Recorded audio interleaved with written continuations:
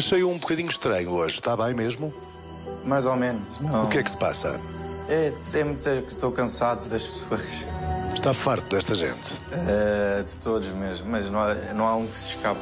A Barbosa e o António que forçam muito uh, as brincadeiras. Já cheguei a ver olharem para as câmaras e fazerem certas coisas, forçam muito isso. É a Débora, pelas razões óbvias que, que já sabemos da Débora, da, da, personalidade dela.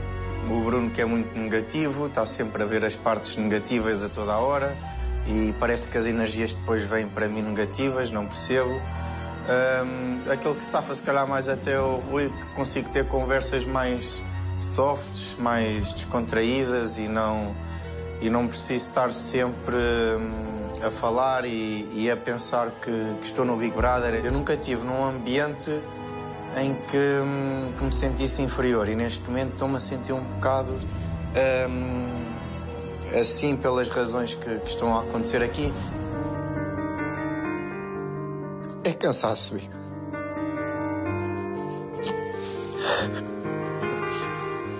Não vou desistir, mas estou farto disto. Não vejo a hora de sair daqui.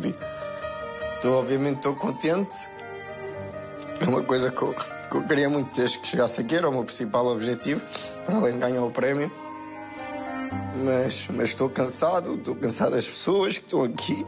Eu ontem tentei dormir, não conseguia.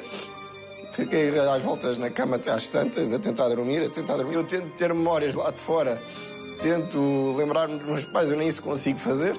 Não consigo me lembrar, nem, nem tenho. Um, tento meter na cabeça o que é que será depois disto, o que é que, como é que vai ser a minha vida. Eu não consigo imaginar, não tenho imaginação, não tenho nada.